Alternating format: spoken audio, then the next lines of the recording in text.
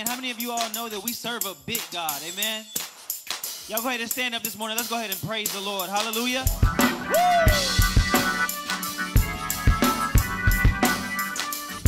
Can y'all praise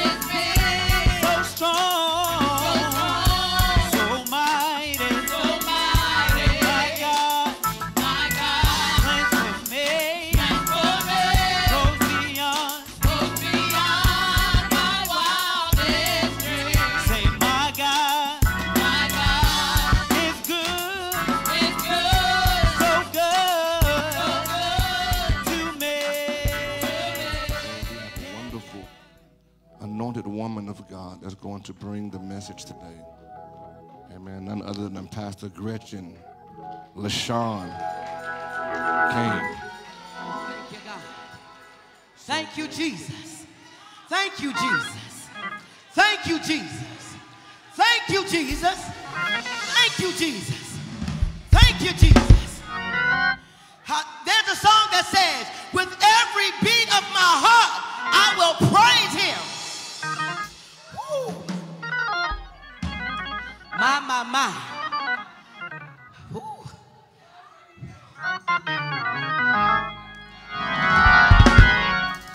See, one thing I'm not going to do is stop the spirit from moving because somebody's going to get released in here today. There is going to be a release in the atmosphere, in your spirit today. Thank you, Jesus.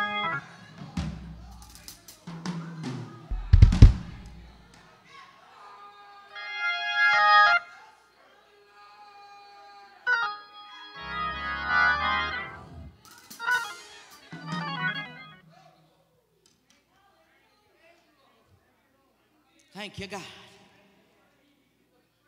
Thank you, God. Father God, we thank you in this place. We giving you all glory, we giving you all honor, we giving you all praise. Father God, I'm asking God that you let Gretchen die and you have free course with her. Create her right now to be the vessel for you, God, and have your way. And let somebody in this place, God, release their spirit just like you said. We here to give you glory. We here to give you honor. We give you here to give you praise. All goes to you. In Jesus' name we pray, amen. I'm going to be coming from 1 Samuel chapter 1. I'm going to read verses 1 through 6, then verse 10, and then verses 19 through 20.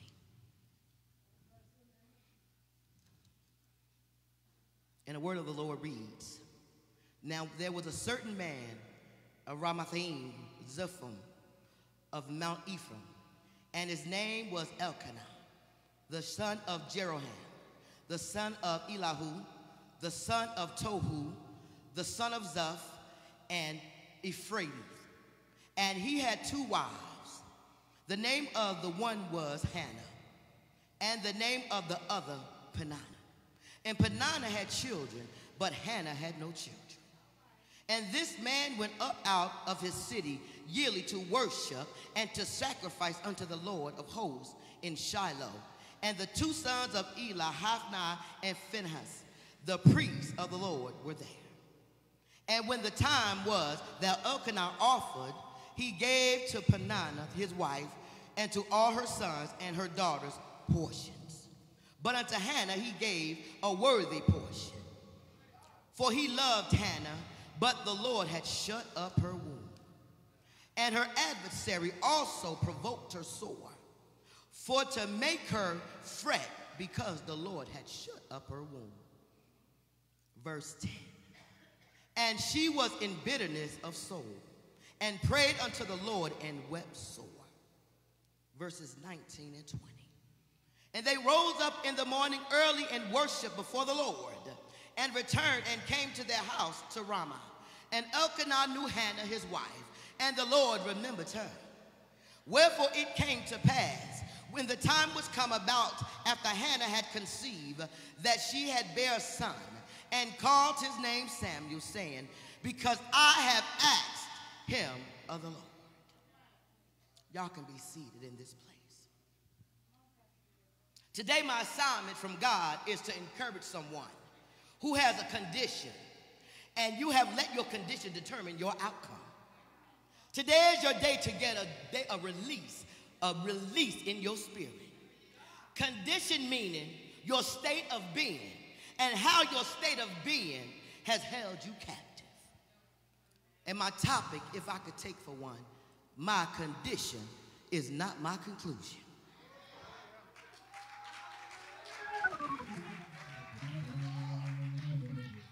See, I want to speak from the passage of scripture that we all are familiar with concerning Hannah, the mother of Samuel, the judge and the prophet.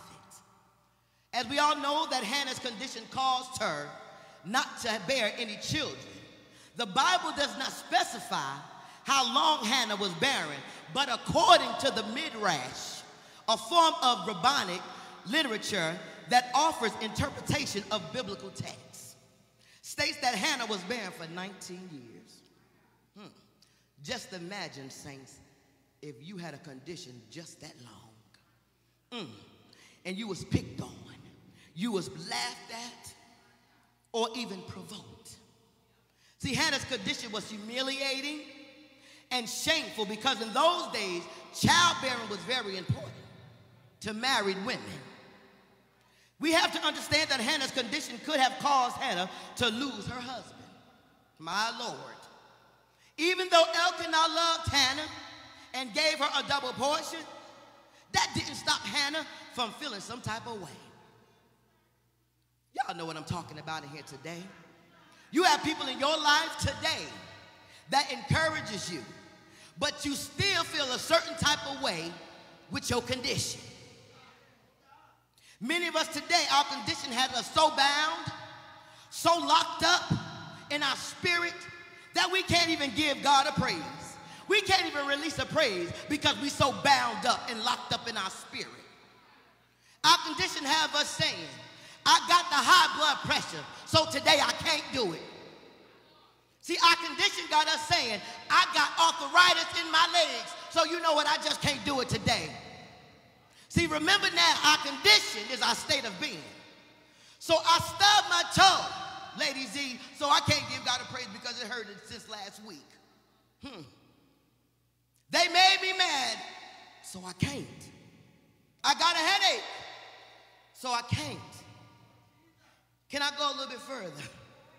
I overheard them talking about me, about what I had on. So you know what, today I just can't do it. I don't think I'm gonna be able to do it next week. I'm still talking about Hannah and her condition. But I wanted to come down your road just a little bit. Stop saying that I can't and tell your neighbor my condition ain't my conclusion. Hey, come on, somebody. See, understand that Hannah was picked on and Hannah was provoked by Peninnah. But that still didn't stop Hannah from offering God a praise. Come on, somebody. Not only didn't it stop Hannah from offering up God a praise, it didn't turn her heart hearted. It didn't turn her heart ugly. The Bible says she was bitter. But see, sometimes when we're bitter, when we're upset, guess what? We want to take it out on the next man. See, but what I loved about Hannah, even though she was bitter, the Bible says, she might have been upset, but she gave Eli the most respect. Mm, she gave Eli the most respect. Let me go a little further. Most of us could only give God a praise when we have money in the bank. Most of us could only give God a praise when everybody is our friend. Y'all know what I'm talking about here. But Hannah gave God a praise and a prayer even with her condition. Hmm. How many of us can give God a praise with your condition? How How many of you can give God a praise with the state of mind that you in? How many of you can still give God a praise even if you stubbed your pinky toe? How many of you still can give God a praise even if you got a headache? How many of you can still give God a praise even if your body ache? How many of you still can give God a praise? Can't ain't in our vocabulary because my Bible said I can do all things through Christ who strengthens me. See, I'm not only talking to you in here, but I'm talking to whoever is watching. Today, God said a release gonna come in your spirit today. See, Hannah's condition kept her crying, broken, and in the presence of God. Tell me. See, let me tell you what we do, people of God. We go to our friends that can't help us. We go to our neighbors that can't help us. And then when we get to God, our condition done worsen. Y'all know what I'm talking about. You at home and you're sick and you really can't get out of the bed. You don't want to call 911, but I want to call my sister that live across town and know good and well she can't get to you. All she can do is offer up a prayer. But I'm talking about somebody that you needed to go to in the beginning. His name is Jesus. See, we, we make him the last resort. See, when we make him the last resort, our condition got worse. And then we want to blame everybody in the world because our condition got worse. But it ain't nobody's fault but your own. Just like in your spirit, if you don't went to God first, guess what would have happened? You would have had a release. You wouldn't have had to worry about nothing. But we make God our last choice. We make God our last choice. And when we make him our last choice, guess what God's going to do? When you finally come to God, he's going to sit there and say, oh, you made it?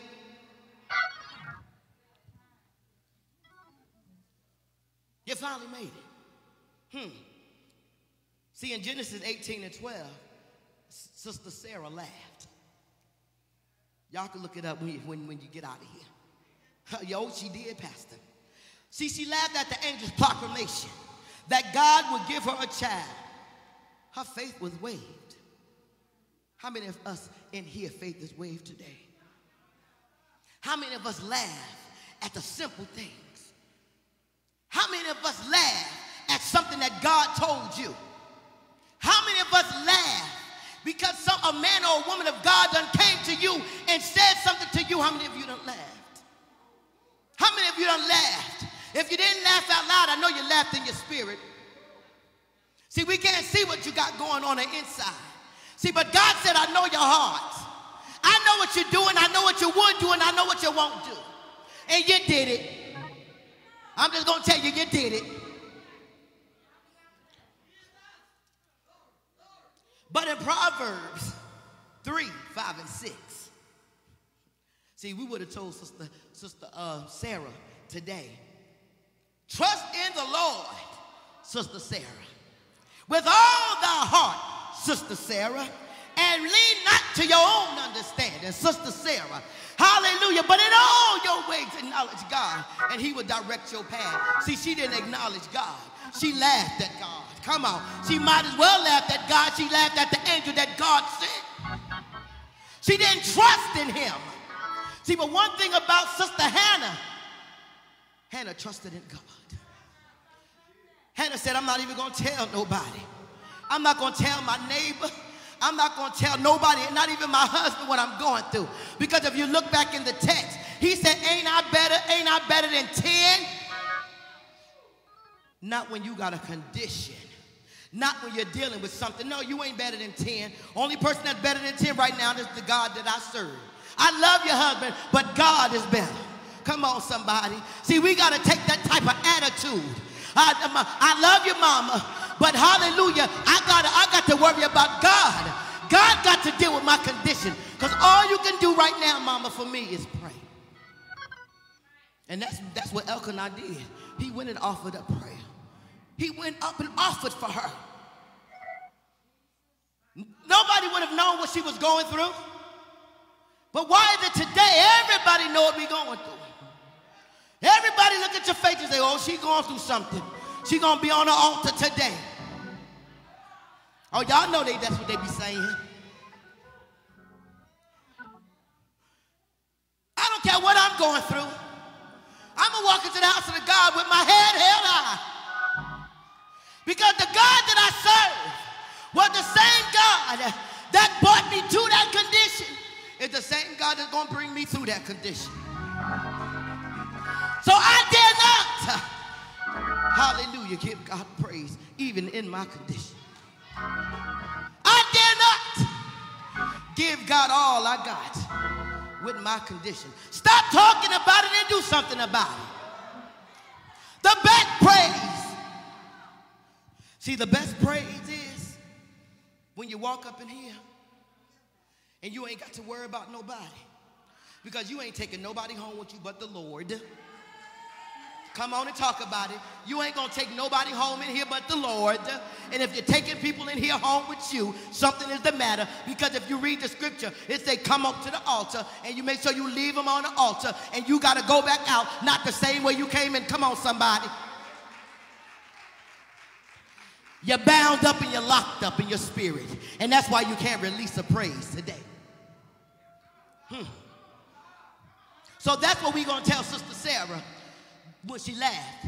If you trust in the Lord with your heart and lean not to your own understanding, because she was leaning to her own understanding because she was old in age and she didn't think she could have children. She must really didn't know the God that we served. She couldn't have. Hmm. See, you might feel like your condition has gotten the best of you, but today I'm coming to tell you, God is setting you up for the win. See, right there, see that right there is where I got my joy when he ministered to me. He said, because I done set you up for the win. See, he set Sister Hannah up for the win too. Hallelujah. See, but Sister Hannah knew the assignment.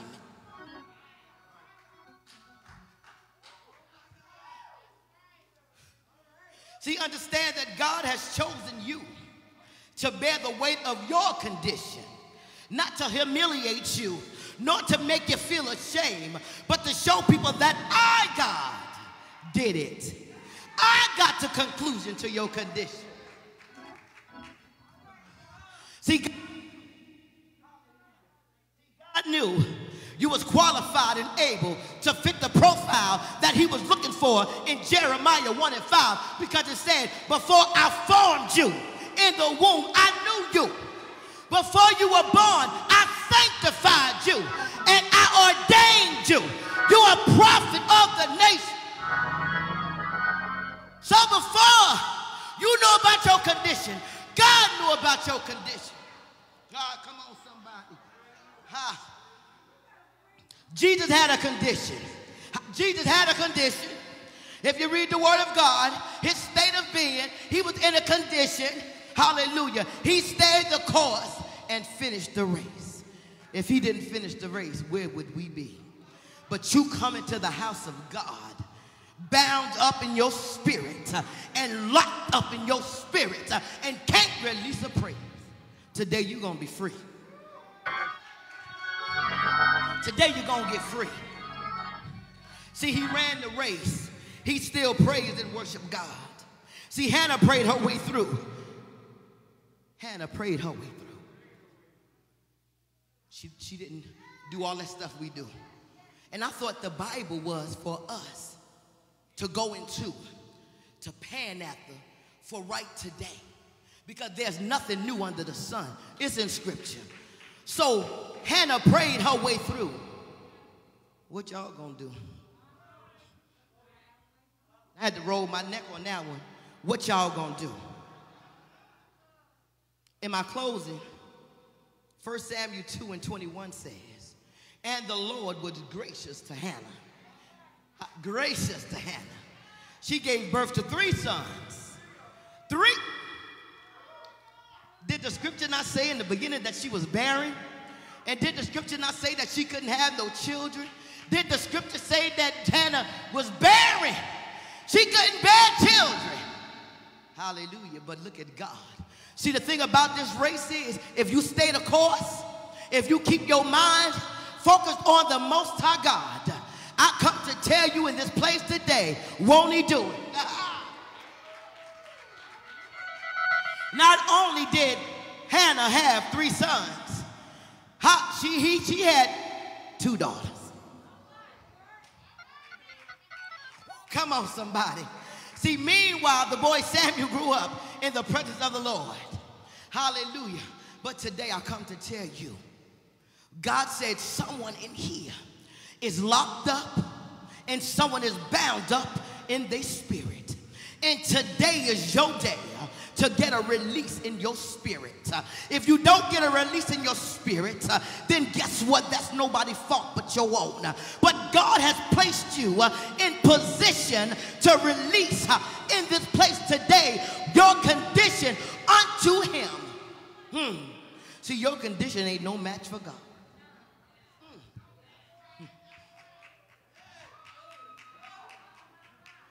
See, you don't know what somebody has been going through. You don't know what somebody else been going through. All you know is you see them on Sunday. You may see their face on Bible uh, on Bible study. You may, if they got their camera on, but you're gonna hear their voice. They're gonna be in the background saying, Thank you, Jesus, hallelujah. Or they're gonna be talking. One or the other, but you're gonna hear their voice. And just like you hear each one another's voice, we got to listen and hear the voice of the Lord. We got to get in a place where we can hear God speak. We got to get into position to where that condition that we have, God already knew. You didn't know, but God did. So with your condition, what you gonna do? I heard the Lord say, I am bigger than your condition. I am better than your condition. Can I go a little further? He said, I command your condition.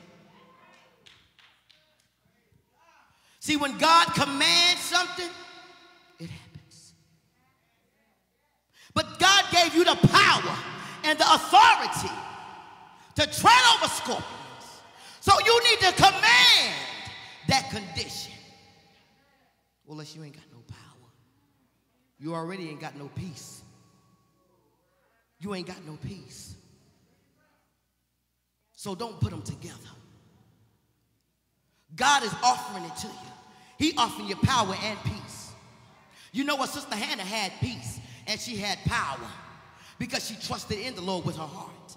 She, she knew that the God that she served was going to do it. She didn't know when, she didn't know how, but she knew that God was going to do it. See, Sarah thought she was too old, but ain't nothing hard for God. There's nothing too hard for God. Sister Hannah understood the assignment. Do you understand your assignment? Do you understand your assignment? Do you understand the assignment? He already said that I knew you. Before you were born, I formed you. So he formed you knowing that you was going to have a condition. He formed you knowing, he ordained you knowing, he sanctified you knowing that you was going to have a condition. So are you going to let your condition continue to hold you hostage or are you going to do something about your condition? Are you going to do something about your condition? Are you going to let God have his way? Are you going to tell God all about it? See, because he's just waiting for you to talk to him, just like you talk to your neighbor, just like you talk to your friends, just like you talk all the time at work. But guess what? The God that I serve, see, I got to take my time and I got to talk to him. I got to talk to him about it. Because if I talk to y'all about it, ain't nothing going to happen. Nigga, that word, I can't. I can't. I can't. But God could. Know that God could and God will. God will. The Bible tells me that God was gracious to Sister Hannah. So, what makes you think that He won't be gracious to you? Today is a day to get a release in your spirit. Today is to get a release in your spirit. You don't have to worry about nobody else's spirit. Worry about your spirit on today because you got to take your spirit home, not your neighbors. Come on, somebody. Oh, come on and give God a hand clap of praise. Come on and give God a hand clap of praise. Come on and give God a hand clap of praise. See, the problem is we like to be locked up. If you want to be locked up, go on and out there and do something crazy and you'll get locked up. Let your spirit be free today. Let your spirit be free today. Stop holding on to something that you can't change. Let God do it for you. Come on, somebody. Stop crying. Stop giving the devil victory. Stop giving the devil reign over your spirit. Because the God that you serve, he gonna do it for you, but you gotta want him to. He gonna do it for you, but you gotta let him do it. Oh, come on, somebody. I ain't come to pump and prime you. Not today. Today is not that day. But what I came to do is give you the word from the Lord because God said if you just fulfill your assignment, you gonna have victory. Do you truly want victory in this place on today? Come on, do you want victory in this place on today? Do you want victory in this place on